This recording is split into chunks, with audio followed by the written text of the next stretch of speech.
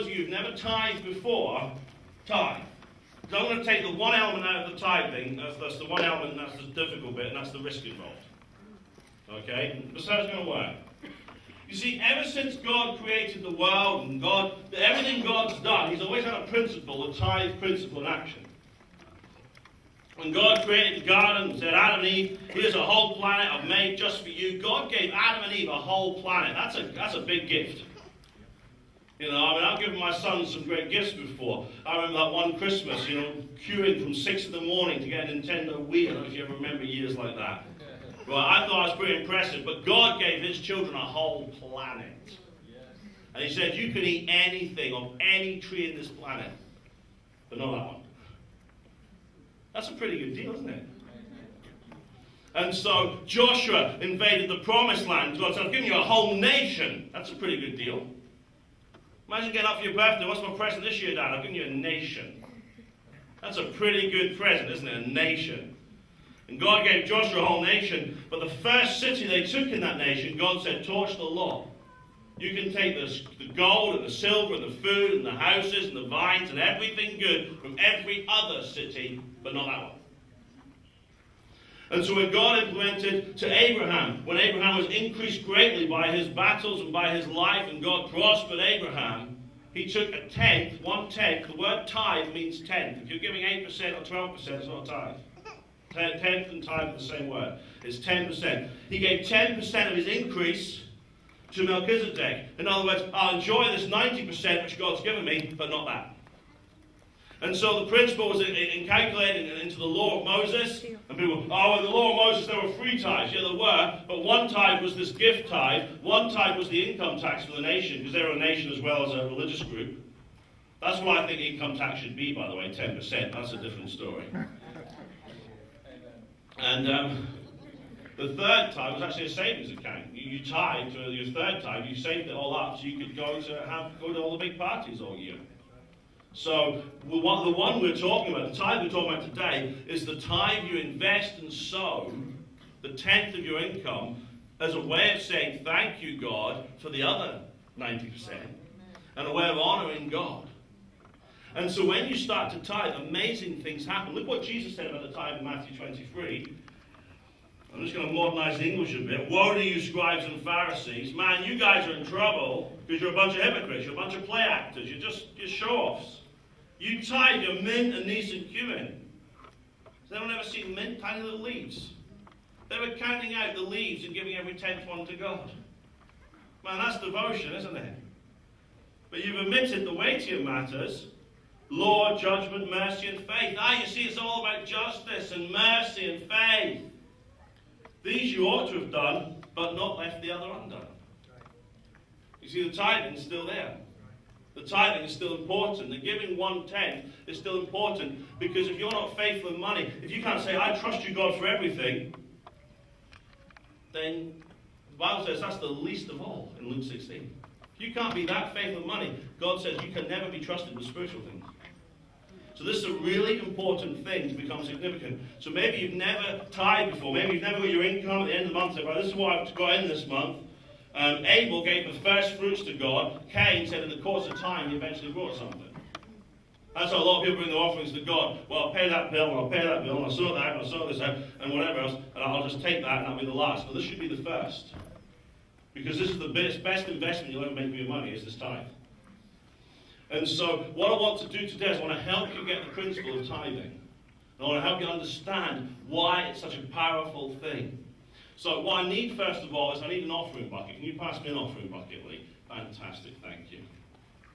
Right. Okay, offering bucket.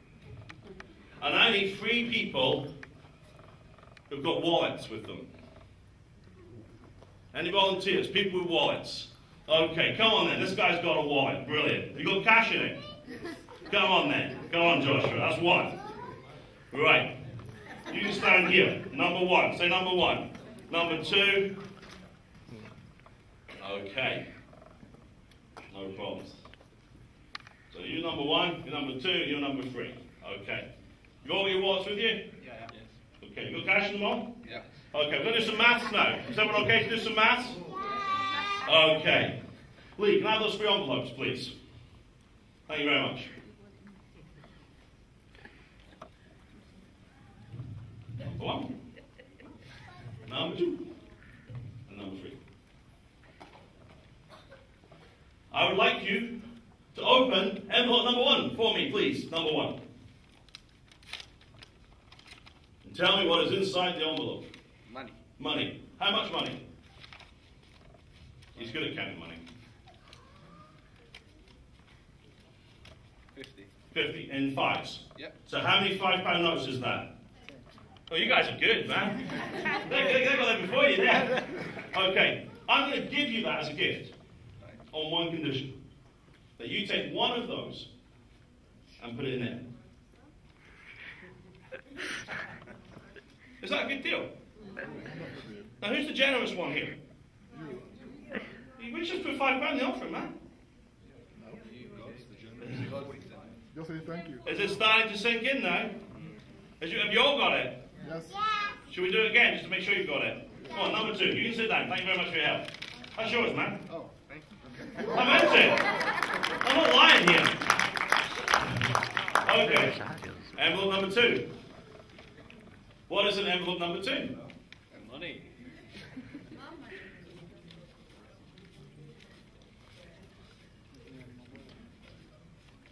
A hundred. 100. How many ten pound notes is that? 10. Ten ten pound notes. So here's the deal I'm going to make with you. I will give you that whole amount, and all you have to do is take one, just one, and put it in there. Is that a good deal? Yeah. That's the deal. awesome. Thank you very much. Everyone's taking my deal today. This is the tithe deal. Now you see, when the money's just handed you all at once like that, and you realize it's a gift, it's easy to tithe. When you realize everything that comes your way is a gift of God. Well, I work hard for my money. I'm a self-made man. That's your problem. It's a gift from God.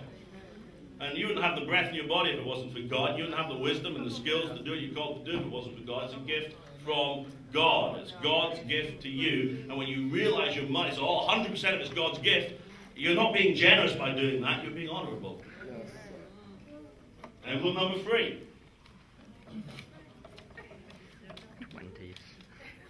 This one is very.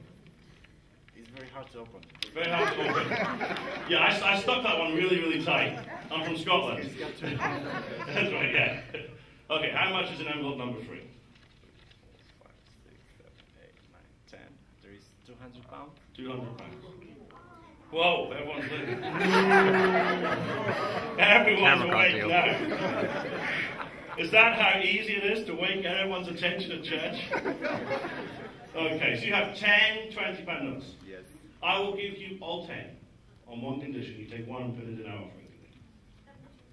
Is that, everyone's taking my deal. Yes. It's a There you go. That's a good deal. Thank you very much. Thank you all three of my volunteers. I did that so you would never forget this.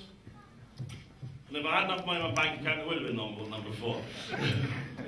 you need to understand this. The generosity in you tithing is God's generosity. He gave Adam and Eve a planet and said, Here, everything, just, just not that. And they went and ate it. Because a snake convinced them that God was holding something back. Man, can you imagine?